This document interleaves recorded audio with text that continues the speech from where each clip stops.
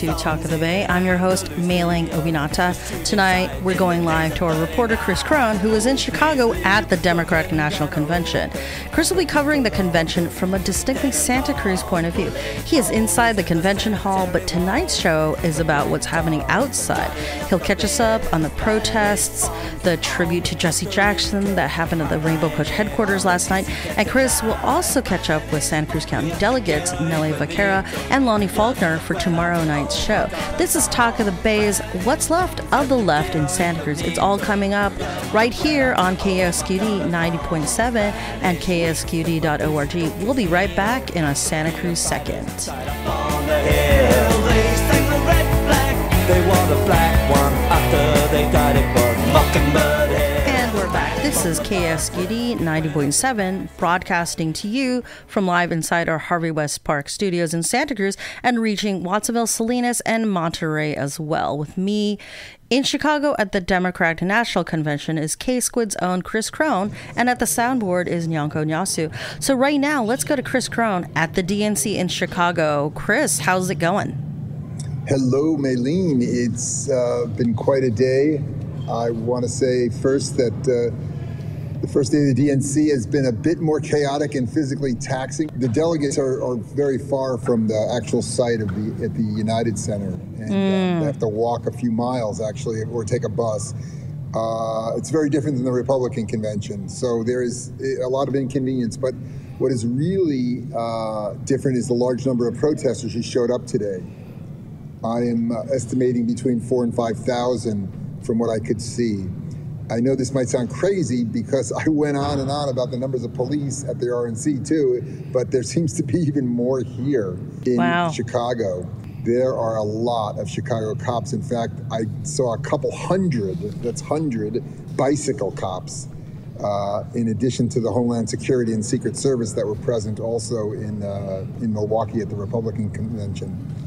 Um, Today I started off at Progressive Central, where elected officials and academics were gathered uh, to put out a distinctly, you know, progressive message. And I was able to interview a couple of them, Nina Turner of Ohio and Jim McGovern from Massachusetts. But I think let's start off with the protests and then go to the Jesse Jackson tribute. The, the protest was far larger than the one in the RNC. I'm guesstimating it was four to 5,000. It was relatively peaceful, perhaps uh, given the large number of police. I don't know. Uh, let's let's listen to a few voices um, uh, as they're getting ready to march. Uh, first up is uh, the, the, the spokesperson for the march on the the DNC 2024. Her name is Gemini Newell. And then we'll listen to Daniel Wooten, who grew up in Santa Cruz but was priced out like a lot of people that I find outside of Santa Cruz now. And uh, he lives in Los Angeles. And then there's Jessica from Wisconsin. So let's maybe let's have a listen to that and, and then we'll come back. Okay. We're outside the Democratic National Convention right now, and we are speaking with a uh, uh, a protest. Would that be the right word? A protest spokesperson? Yeah, you can say that. What is your name? Sure. My name's Gemini Null. And, and what's this um, event about? Uh, there seems to be about, I don't know, a couple thousand people behind us. Yeah, this is about, uh, so this is the March on the DNC. We are fighting for a free Palestine, in particular, asking the DNC to stop funding the genocide, stop sending billions of our tax dollars uh, overseas to fight in wars that don't benefit us, the people. They only benefit the wealthy folks that want to extract oil and resources out of the, the region that they're bombing. Wow, that's some amazing reverb behind us. Uh, yeah. So, you know, Harris is kind of tiptoeing around this. Yeah. She didn't show up uh, and stand behind Netanyahu. She did meet him behind closed doors. She has actually made a statement that seemed to be supporting Gaza in terms of not continuing to bomb them. What do you see uh, as a result of this and other actions people can take? Because you know, really, there's there's pressure, but where's the teeth? Yeah, I mean, the teeth is in in the people, right? Like we, the people, make. Yeah, yeah, yeah. We can go somewhere else We the people make everything, right? We are the people that pay all of the elected officials' salaries with our tax dollars. We are the people who watch their kids, grow their food, take care of their stuff. We make everything happen, and they are supposed to represent us. So when we come out in full force, and we have, you know, there's thousands of people right in front of the stage right now, but we're projecting up to 50,000 people coming out today, uh, and the park, the park is full full of people all the way all the way down to the end of the park and i think when they when they aggregate in front of the stage we'll, we'll see the full scope of this but um, having this many people out in full force i think is going to show them that they're going to have to take steps uh, to to end the genocide if they want to stay elected and stay in power Thank you very much. Yeah. Chris Krohn for KSQD Radio at uh, the March on Chicago or on the DNC or on the DNC. This is the march on the DNC, and I'm I'm with the Climate Alliance of the South Sound and the Freedom Road Socialist Organization. I'm at the uh, uh, protest on the DNC, and it's Daniel Luton I'm talking to, formerly of Santa Cruz, now of. I currently live in LA, but I visit as much as I can. So, what are you doing at this rally? I'm here um, just to be another nobody to make the group of people bigger, and um, I donated some sign making stuff. And so, you were just telling me about well, how people, you know, who's running Israel and Hamas, and and maybe uh, Netanyahu's Likud party are one and the same. I think they are very similar. They are both right wing fundamentalist parties, and Hamas is able to take food and price gouge and all the things that Israelis want to say Hamas is getting the aid. Yeah, Hamas runs things there, so they get the aid, and, and they are like a mafioso type group, but they're able to have that grip on society because the rest of the people there are fucking desperate. And um, what do you think will come out of this uh, rally? Looks like behind me there's maybe, I don't know, 5,000 people. Yeah, I hope it grows. I heard there could be as many as 40,000. Hopefully, other people are thinking it's in the afternoon.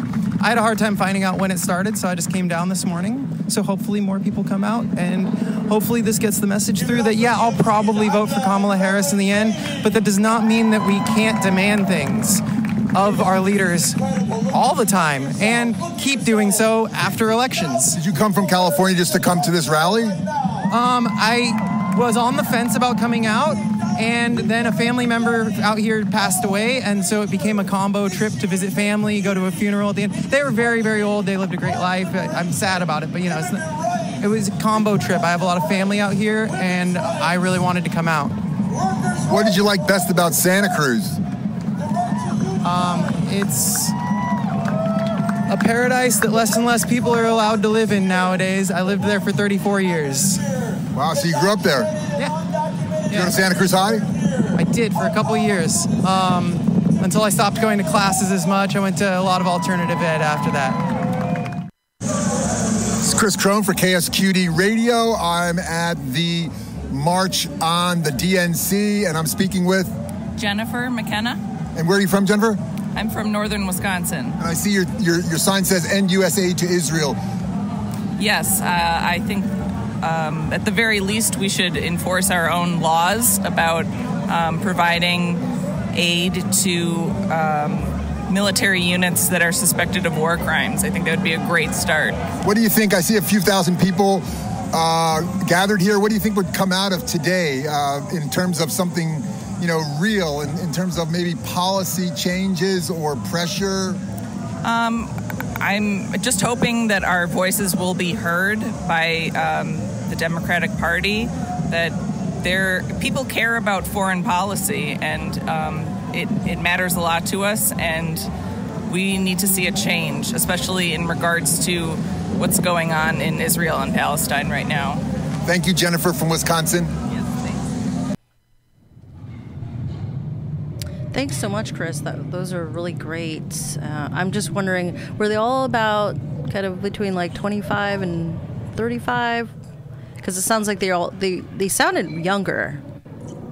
Uh, those particular voices were were younger, and uh, I'm I'm still getting the feedback on the on the lawn. And Okay. it, it stopped. It stopped before.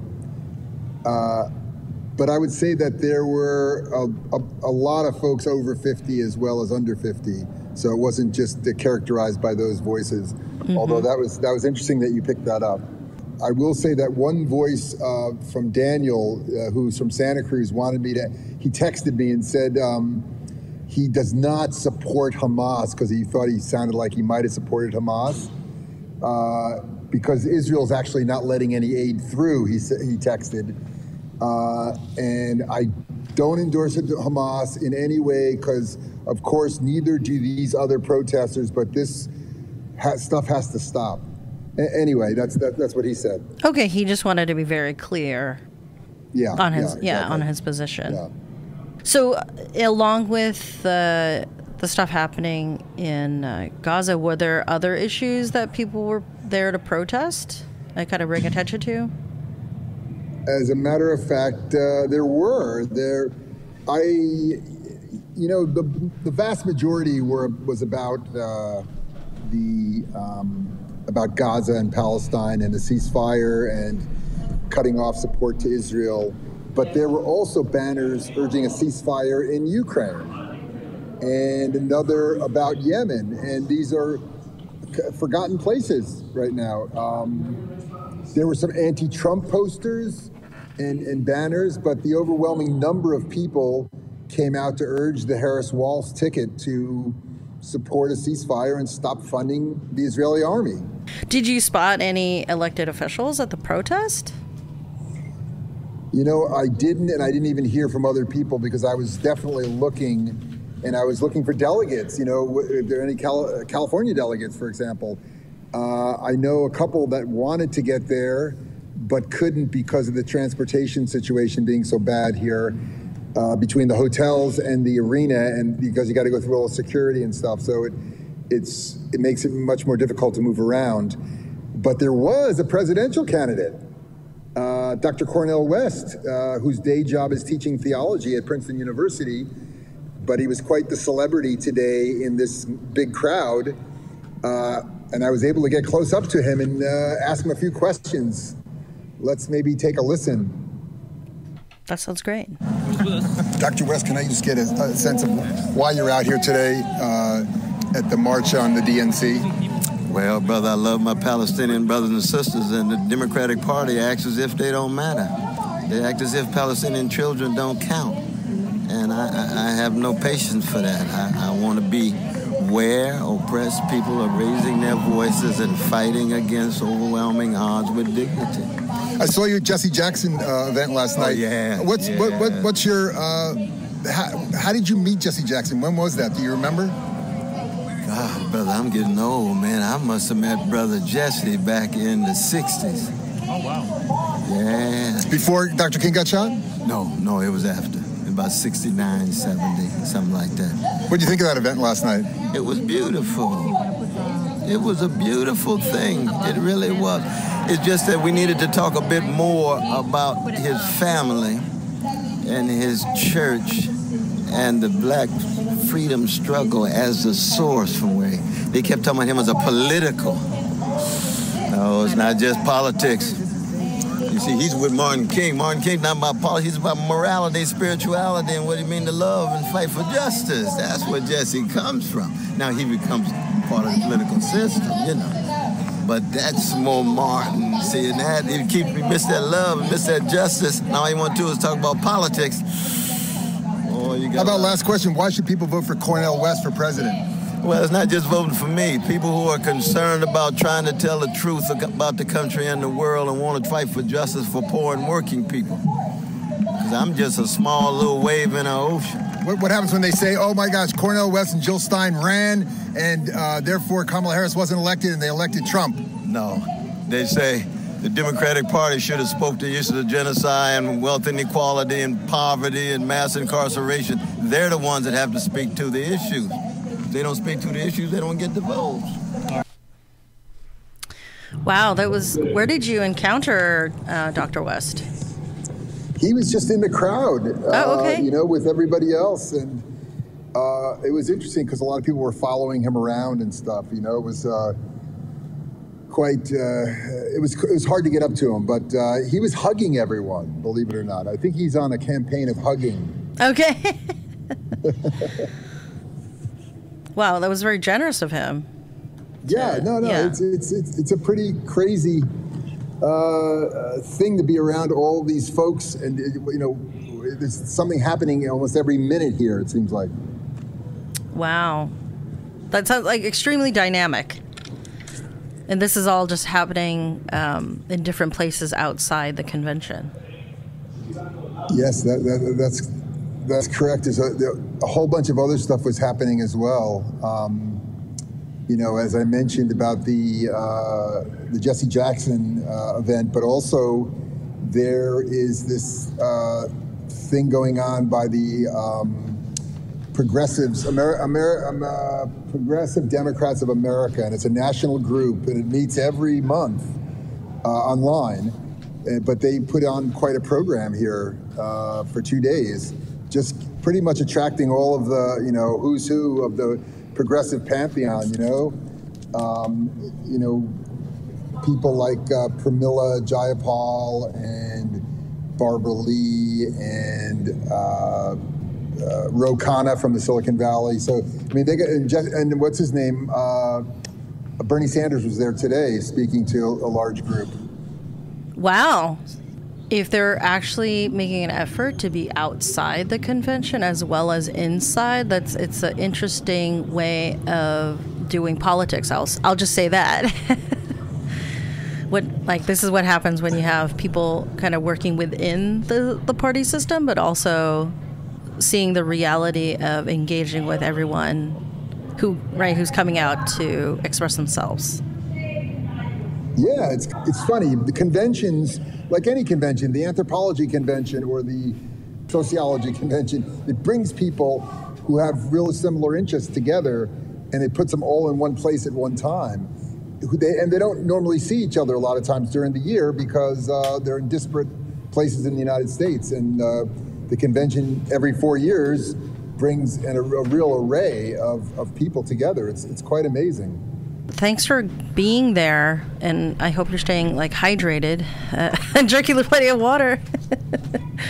uh, I, I, I, am, and I, I, wanted you to play somebody named Nadine Seiler from Maryland, mm-hmm. who I caught up with in the uh, at the Republican at the RNC. Yeah, yeah. And I spoke with her again today. Oh, cool. Why, why, don't we listen to her? She's she has sure. a really interesting perspective because she was not there to necessarily protest uh, the wall, the um, the Harris Walz uh, policy on, on on Gaza. She was there to support them. I'm here with Nadine Seiler, and we first met up at the uh, the RNC, the Republican, and you were out there yes. also protesting. Right, so I was protesting here, I was protesting there. Here, I am just slightly advocating and bringing knowledge to folks to please take note of Project 2025 and Agenda 47. I am not protesting the DNC, actually because I do not want people boycotting the elections. I do not want people not voting. I want people to understand that Project 2025 is real, Agenda 47 is real, and if we come out of the system, if we abandon the system, we're going to get Trump and Republicans, and we would have no opportunity to change anything. None of the none of these groups, reproductive rights gone, LGBT rights gone, banning words like diversity, equity and inclusion and abortion. I noticed your sign says Trump and JD Vance weird. What do you what, what, do you what do you mean by that? It says Trump and JD Vance are weird. Obviously not original because Timothy War- Walz is the one who started it. But since Trump is stupid enough to let me know it's getting under his skin, I am going to make sure that I put it out there so everybody sees it and let it get under his skin some more. You're an amazing one-person protester. How did you? Uh, how do you keep your stamina up? How do you get your energy, your excitement, your enthusiasm? You know what? I came to America at 22. I was not involved in any kind of politics in my country because I was young, and most young people, these young people are, are, are phenomenal to me. Most young people in, in my age group in the 60s and the 70s, 80s, we weren't paying attention to politics. We would vote, but we weren't paying attention. They're paying attention. So I am like so proud of them. And I bought into the, all the American exceptionalism and all the checks and balances. But now, 37 years later, I'm seeing that a lot of it is fast and a lot of it is just um, teeth and no bite. I need for it to have bite. I need for America to live up to her ideas. So while I'm here, I am going to be one of those people agitating for America to live up to her ideals. Well, we know Trump is not very good on this issue of Palestine, especially. What's going to make Harris and Walz be better? Okay, so when so when Harris and Walz, we have a chance to advocate and agitate them and to shame them. There's no shame on the Republican side, but Democrats Democrats are still shameable. They're still movable. Even when Kamala Harris answered the people when she said, "I'm speaking," when they were when they were in Michigan and they were um, they were um, protesting her at the at her speech, and the first day she said, blah, blah, blah, but I'm speaking. The next time they did it, she didn't say that. She moderated her tone with them. So that means that they're movable. Thank you, Nadine. It's good to see you again. Thank you, my dear. See you tomorrow. Chris Krohn for KSQD Radio at the beginning of the march on the DNC. The march kicked off about 15, 20 minutes ago. There's several thousand people. You can probably hear the helicopter over my head. The police are literally kettling the rally with their bicycles. There's hundreds of Chicago police on bicycles that are standing next to each other on either side of marchers that are about 20 across and very deep that I cannot see the end of the march. There is a variety of chants here. Some of them you can hear DNC, you can't hide, you're causing genocide.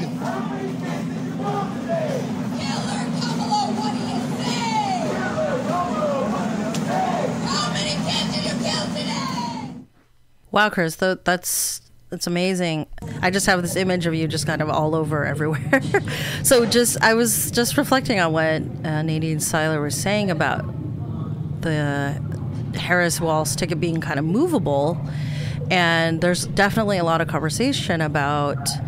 Um, what's the best strategy to influence someone? You know, how much pressure do you put on them, like before they be, they get into office, versus once they get into office, right? Then they don't right? They got what they wanted. So I think that's an interesting dilemma for activists to consider. Like, what is the best way? And, you know, do we have examples like from history to instruct us? So I don't, Chris, do you have an opinion about that? Uh, you know, I think that uh, I, I, was in, really interested when she uses the word shameable. Shameable. Oh, right. Right. that the yeah. Democrats are shameable, but the Republicans have no shame and they you can't you can't push them in any particular direction. They're they're not vulnerable to any kind of pressure. So a lot of uh, the, the protesters I talked to today, you know, they don't have it. There's no teeth in in anything they're doing. There's just you know moral teeth, I guess, moral pressure uh, against the Democrats, you know, hoping to change their position. I mean, I don't know, you know, t- on tomorrow's show, I'm, we're, we're going to hear from two Palestinian women and from a, a Jewish activist uh, on different sides of the issue and trying to pressure uh, Congress in, in, in, in, what they're doing too. So, uh, and, and, those folks were pretty radical in their beliefs, both on both uh, on the Palestinian side and on the Jewish side or the Israeli side.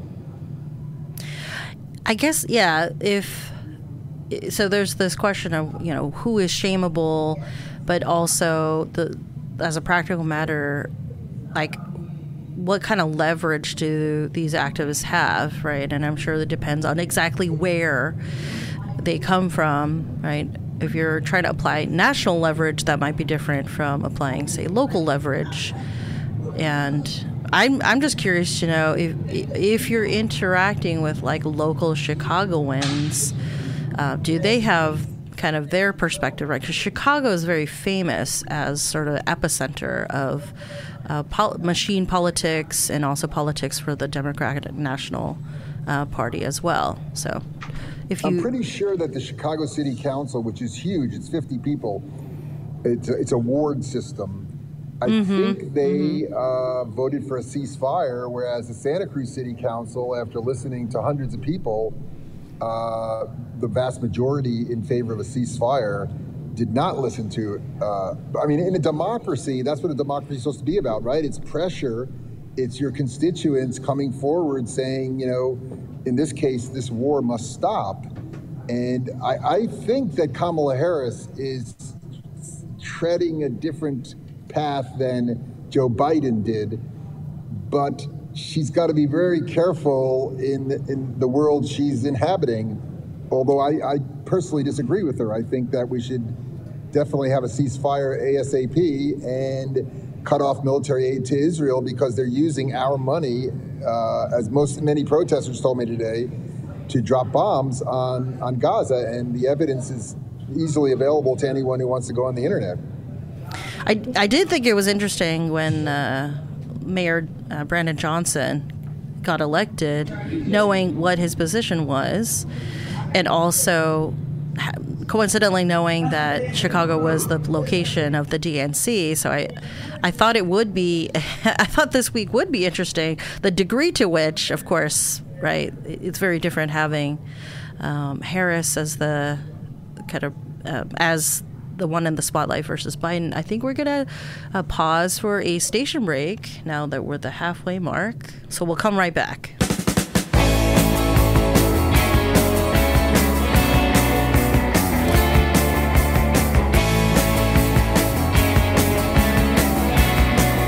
Welcome back. We've been talking with K Squid's own Chris Krohn. He's in Chicago at the DNC. It's the Going excitement of we live radio. Talking about, um, I was really interested uh, in the way the police use their bicycles today. They, they, there was a lawsuit against the New York City Police Department for quote kettling people um, in this orange kind of uh, uh, uh plastic wrap they would they would they would wrap it around hundreds and hundreds of people at the same time, and they lost a huge lawsuit worth many millions of dollars as a result of that. That was at the convention back in uh, 2004, I think. And oh. uh, what the what the police were doing here today was using their bicycles to really direct. There was like hundreds of bicycles of the cop the cops had, and they were tire to tire pushing the, the protesters in a place they wanted them to be. Uh, and they didn't want them to divert from any of the of the route that they, I guess, that was approved by the police, the mayor, and uh, the, the protesters. Well, and when it's it is a little bit surprising when you're saying kind of at the top of the hour that you're actually seeing a greater police presence uh, in Chicago than you saw in Milwaukee at the RNC but maybe it, it, makes sense that the DNC was certainly anticipating uh, protests. Um, just being there, what's your, what is it like to be just immersed in that? Is it sort of surprising, even even if you heard, yeah, they're going to be protests? Did you, did you have any sense of that this would be the scale? Well, you know, it's it's frustrating and disappointing because I've attended. This is my fifth or sixth national convention, and the protests keep getting farther and farther away from the uh, actual arena. Uh, it was funny when I left the end of the protest today, which there was a few minor incursions. People started pounding on this fence, and the police had to arrest a few people. It looked like, but I, then I went inside on the other side of the fence, and I could actually hear the protesters. Uh, but as the delegates were getting off the buses, but I don't think they were aware of what was going on. Oh. Because it was like 200 yards away or maybe more, and you couldn't really, you could barely see the protesters, but uh, if you listened, you know, you could almost hear them. Could, I could hear them. yeah, it's really interesting to think about how important like specific locations are when things actions are happening so quickly. Yeah, yeah. Uh, were you? I think you had you had attended the uh, Jesse Jackson tribute. Is that something yes. that? Yes. Yeah. How was that? Oh my gosh, that was uh, quite the for folks who remember Jesse Jackson running in 1988, it is uh, it was quite heartwarming and it, it was uh, nostalgic. Um, I would say that uh, for folks who just may, might not um, know about Jesse Jackson, he um, he started an organization called uh, Operation Push in Chicago, and it was a, uh, an organization that helped uh, children, you know, funded school lunches, did a lot of educational work, and actually brought together uh, people from disparate backgrounds to organize politically for to meet to, for people organized to meet their needs. And then, you know, Jesse ran for president in 1988, and then he ran again in 1992, and he did quite well in, in 88, and it was called the Rainbow Coalition. And in fact, Bernie Sanders was the first elected official back in 1988 to endorse uh, Jesse Jackson. And there were so many who came out to uh, pay tribute to, uh, to Jesse Jackson, the Reverend Jesse Jackson. Um, there was Representative Ro Khanna from the Silicon Valley and Barbara Lee from Berkeley. Maxine Waters, uh, another, these are all representatives to Congress. She's from LA, and Al Green was from Texas and Reverend Al Sharpton was there, and uh, Nation magazine editor Katrina vanden Heuvel was also there, and the pollster James Zogby, which you can check his polls today. He has uh, Kamala Harris up by a little bit. Um, why don't we take a listen to a couple of the speakers who spoke uh, quite eloquently? Barbara Lee of Berkeley, Oakland is up first, and um, if you remember, she was the lone vote against George Bush's war in Iraq back in what 2001 now, uh, 2002, and uh, she took a lot of flack for that. Right. Uh, we had a we actually had a Barbara Lee Day in the city of Santa Cruz, with a big ceremony at the Del Mar Theater. We packed the Del Mar Theater to celebrate and support Barbara Lee because she voted as most Santa Cruzans wanted her to vote for no war in Iraq. Uh, then she, uh, we'll listen to something Right. from her, and then we'll follow it with Al Sharpton, who uh, is probably well known. He's, he's most well known right now as uh, being a commentator on MSNBC, I think. But he's quite the preacher man. Let's have a listen.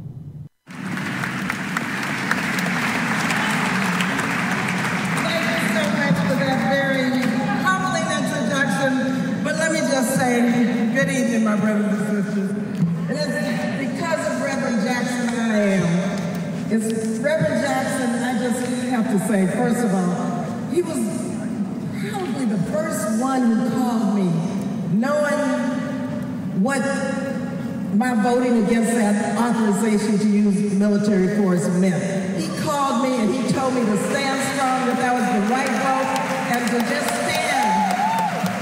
The others would come around sooner or later. Reverend Jackson, he knows I love him dearly, but let me just say to you what a privilege it is to be able to him very quickly. But it's an honor and it's something that uh, is daunting for me. You know, the uh, Jackson family, first of all, they've always been my first family. They were my first family. And so the Democratic Party would not be what it is, as has been said earlier, if it weren't for Reverend Jackson. Now, I, of course, was part of the 1984 and 1988 campaign with Reverend Jackson. I was his state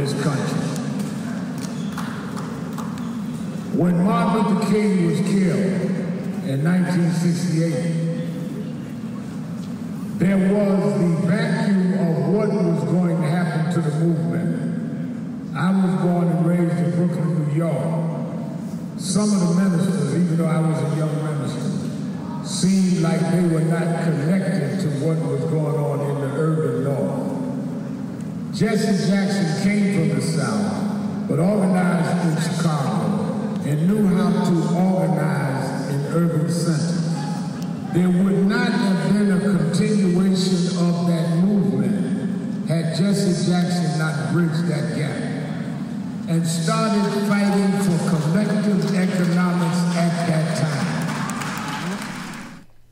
Wow, that was great to hear from uh, Barbara Lee and uh, Al Sharpton. Thank you for Yeah, sharing those. I'm, I'm Yeah. sorry about the audio quality. That was, uh, but I, I think you got the gist. There Yeah. was probably the show was supposed to go on from six to eight, and it, it ended like around ten. Wow. It was like it was it was quite long. It was like four hours, um, but uh, that's not even enough to really celebrate the life of, of Jesse Jackson. He's you know he was with Dr. King on the stairway when in at the at the motel in Memphis when he was shot. And there's a famous picture of, of uh, Jesse Jackson, uh, you know, over the body of, of, of Dr. King. Right, and I I believe it was Jesse Jackson who was visiting Watsonville during the uh, strikes uh, in the '80s. So, um, Yeah, yeah. So he And definitely people said, uh, yeah, Yeah. a lot of things like that. He's he's been there. He's been there for people, and that's what I think why so many people came out for him. Uh, he is, you know, elderly right now. He's in his mid 80s, and um, he's he's wheelchair. You know, he's, he came he came in a wheelchair. He didn't speak, uh, but people spoke to him and about him and about his family. And if you heard uh, Cornel West, he thought that people didn't talk enough about his connection with uh, the church and being a reverend, um, and, and all of his politics coming out of that. I yeah, pe- people talk about how say religion and politics sort of converge, but it, that happens throughout the political spectrum, not just on the right. Aren't those supposed to be two things you never talk about What? in a dinner table conversation? That's true. If you talk about either of those things, you definitely get into trouble. But um, yeah, why why not just be upfront about how our value systems inform the politics? That's I don't think it's necessarily always a bad thing. Not not that yeah, I, not that we want to mix mix like church and state, but just having more than one religious narrative in the way we frame politics. I think that is valuable. Yeah, yeah, it is. And um, you know, lot, what struck me was that how many people talked about how they got their start uh, with with, with uh, Jesse Jackson. You know, I mean, all these elected officials said they wouldn't have ever gotten elected or had a chance if uh, if Jesse Jackson wouldn't have paved the way. And they even went as far as to say Barack Obama was president because Jesse Jackson, after his two runs as president, was able to change the rules and get the number of superdelegates down and actually have uh, a more open process and a more democratic process uh, in electing, you know, the candidate for president. That's that's really interesting. I I uh, I haven't studied uh, Obama extensively, but Obama was what a state senator of Illinois, and he came up through uh, the politics of Illinois and Chicago, which, of course, Chicago itself has has a very storied history, um, with including Harold Washington, which so. Washington, Yes, yeah, Harold Washington. is- death. Uh, Yeah. yeah, he had a heart attack. Uh, yeah. But yeah, Harold Washington's right. He's very famous for saying, "Look, I'll be your mayor even if you didn't vote for me. Like I will help you. Like I will make sure our public services reach every single every single person." Um, which is right. That's a certain ethos, and uh, anyway, it's just interesting to see uh, the things that connect it, within the lifetime of Jesse Jackson, looking back on the Democratic Party in his lifetime, yeah, if right, if Barbara Lee's saying the Democratic Party would not be what it is today without him, I I would entirely accept that. Because if you go back to Chicago politics, like you were going, before Harold Washington, of course, uh, which was a magical moment in the 80s, Mm-hmm. there was Richard Daley. Daley, and yep. His, his son and Jane Mhm. Byrne. But, but Richard Daley in 1968 it was a very different convention. As you know, he unleashed his police on protesters. And uh, I think there was a feeling among some protesters today that, you know, they were going to relive that history, but I didn't see any of, of, of that. I think the, the, the police numbers were great, but there was uh, no um, whatever violence on either side. It was a pretty uh, respectable uh, protest, and the and the protesters got their voices heard. But as I said before, not as close to the convention uh, center as uh, they would like. Yeah, the um, I, I guess the role of protest, right, in influencing, say, a convention, like the dynamics of a convention. That I think that's really interesting to consider because, right, the like people know that like it's gonna be, it's all about the Harris and Walz show.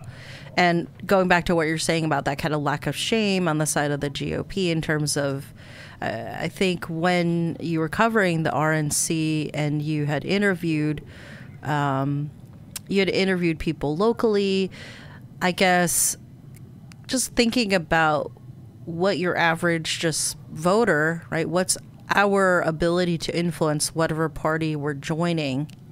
I think that's it, that can be overwhelming to think about. Yeah, yeah.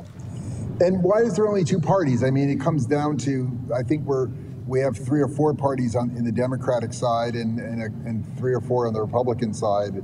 And if we ref, really reflected the political views of of people in the United States, it wouldn't be two parties. It would be six or seven different parties. Right. Yeah, I guess definitely having just two, right? It, it's kind of like, is it Coke or is it Pepsi? You know, right. I- I they don't a- really have I to fight very hard for our, our vote. Yeah. Right. I, I sent uh, in an, one more uh, interview I did with Nina Turner, and she she was the first. uh, You know, the the American Israeli Political Affairs Committee uh, has a pretty good track record now. This past year, they have they're they're a lobbying group, um, and they put a lot of money into defeating Democrats. It started with uh, well, we saw Jamal Bowman from New York go down recently. They spent millions of dollars. Cori Bush in St. Louis spent millions of dollars. These are these are really working class people who were elected, uh, and they tried to get um, uh, the person uh, from uh, Ilhan Omar from Minnesota. But they started out with our next, with, with the person I interviewed today, Nina Turner, who is running uh, in Cleveland. She was a representative, uh, a state senator, I believe, in Cleveland, and she also uh, co-chaired Bernie Sanders' national campaign. But what she talks a little bit about is being a progressive, but being a post-progressive, because she thinks that the progressives are being sold a bill of goods. In fact, she's calling herself a, a, a liberalationist now instead Oh. of uh, a, a progressive. Uh, why don't we have a listen to that, and we'll, we'll come back, and uh, I'd love to get your, your thoughts on, on it too, Meilin. Okay, great. He could not have a vision just for black Americans and leave everybody else out because in the United States of America, they don't want to do anything just for black Americans. Reparations. Can I get a hello, somebody? So I need timekeeper. What I got? Two more, three more. You put up the sign. I'm watching. What I need. My sisters and brothers in the House of Labor. Nina Turner is speaking to an audience of the Progressive Democrats of America. This is part of convention coverage on KSQD Radio. is to understand that And we'll try to talk to uh, and that black Representative Turner in a moment. the liberation for everybody else. Hello, together.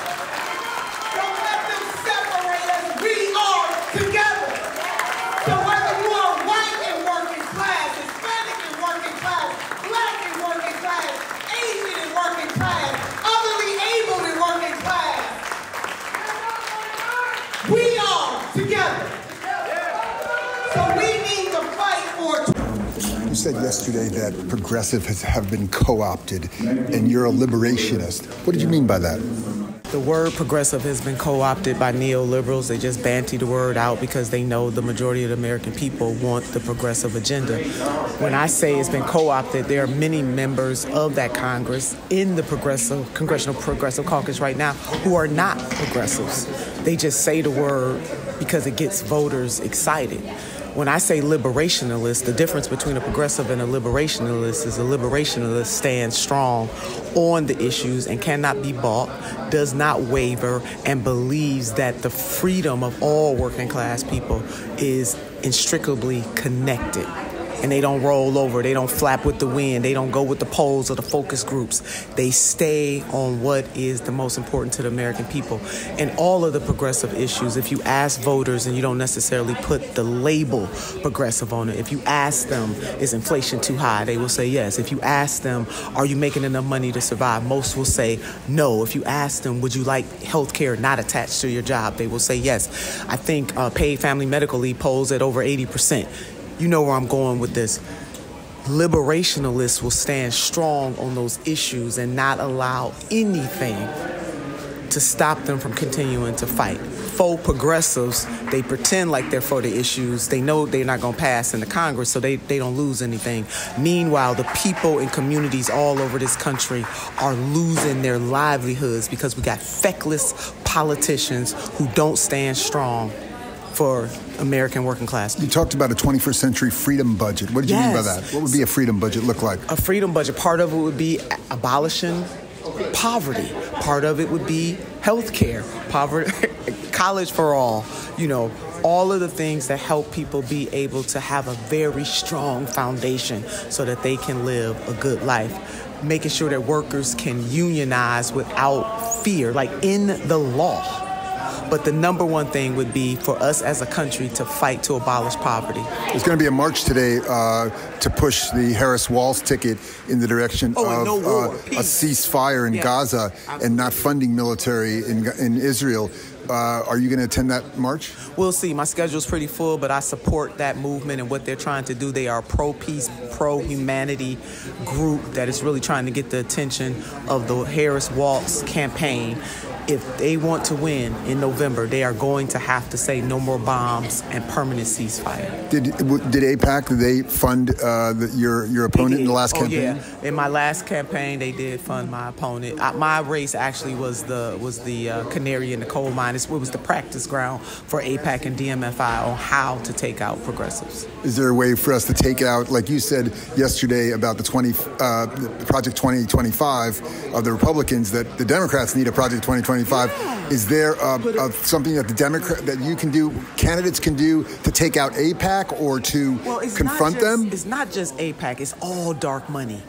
But we're focusing on AIPAC because of their recent deeds against Bowman oh, yeah. and Bush focusing in on black candidates who most often will will be the ones that are standing up for this kind of freedom and liberation for Americans. I want to expand that to say all dark money groups must go. So whether it's AIPAC, DMFI, NRA, both the National Restaurant Association and the National Rifle Association, no dark money group should be able to have more influence on an election than the people who live in those communities. All Americans should be mortified by what AIPAC was able to do and stand up and say we want dark money out of politics and we need campaign finance reform. And one other point to that as long as we let these groups take over, then we are going to lose working class candidates. Bowman was a working class candidate, Bush, a working class candidate. So we need to come together, regardless of how we lean politically, to say that the playing field must be leveled and that the people who live in these respective districts should have more voice than moneyed interests. How about Nina Turner, working class candidate from Ohio? Hey, Thank you so much. Thank you so much. Wow, Chris, that was amazing. She is probably the left of the Democratic Party. Oh, she for represents sure. That. Do, yeah. Do you have? We have like 30 seconds left. Do you have a? Do, what did you think about what she just said?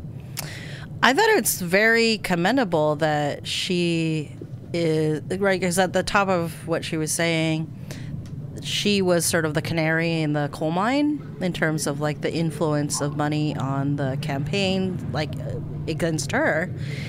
But she's still she so she's still influencing the party in her own way. She's still standing strong, I, and I really liked it when she was defining what it means to be a liberationist. I know I had to I had to wrap my mind around that. I think we're going to have to leave it there, uh, Meilin. Um, thanks to the stellar worker engineer Nyanko Nyaso. This is Chris Krohn for Talk of the Bays, What's Left of the Left in Santa Cruz. I'm on the road in Chicago, and coverage on KSQD will continue tomorrow with Talk of the Bays host Bodhi Shargil.